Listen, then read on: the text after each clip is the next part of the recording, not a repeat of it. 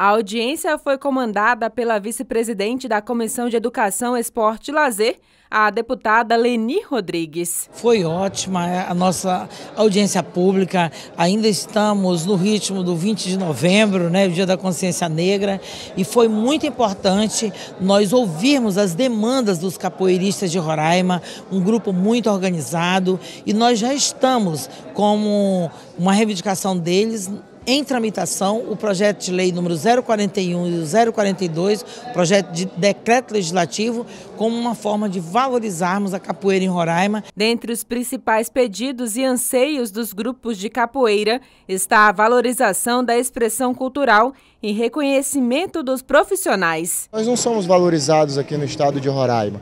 99% dos profissionais hoje que ministram aula de capoeira em Roraima ministram de forma gratuita, não recebem nada por isso.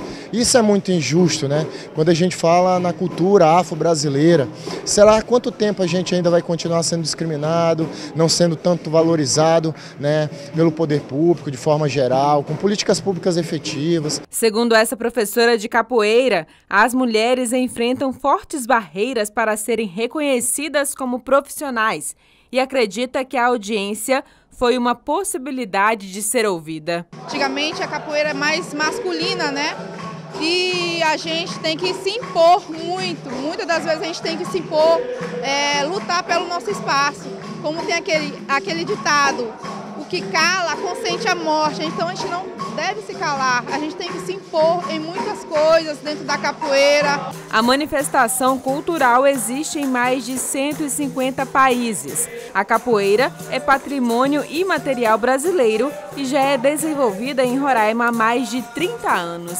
E o reconhecimento não só das suas características enquanto cultura, mas enquanto parte do processo de formação. Isso envolve educação, saúde, vários outros política, isso economia, envolve vários aspectos da formação do cidadão e a capoeira está reivindicando isso através da sua inserção em projetos sociais, em disciplinas escolares, trabalhar o conteúdo na, na, nas disciplinas né, que, já, que já existem nos currículos nacionais. As reivindicações, segundo a deputada Leni Rodrigues, serão analisadas por toda a Comissão de Educação, Esporte e Lazer para que os deputados pensem em políticas públicas em favor do patrimônio cultural.